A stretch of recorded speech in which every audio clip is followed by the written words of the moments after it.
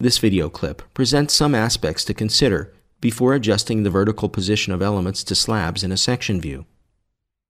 In this case, we wish to adjust the vertical position of this composite wall to a slab in a section view. Let's select the wall only, without selecting the slab above it, and activate the Edit, Reshape, Adjust Elements to Slabs command.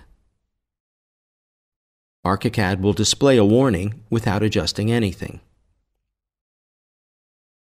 In section views, we always need to include the slab in the selection set before issuing the command. As you can see now, the top of the composite wall has been adjusted to the bottom of the selected slab. Let's consider the composite wall that extends beyond this slab. Let's select both elements and issue the Adjust Elements to Slab command. Please note that the adjustment has been completed and the bottom of the wall has been shortened up to the slab.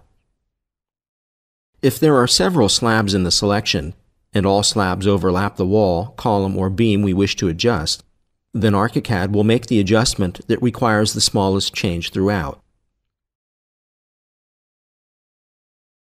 The very same applies if the top or the bottom of an element to be adjusted is between the selected slabs.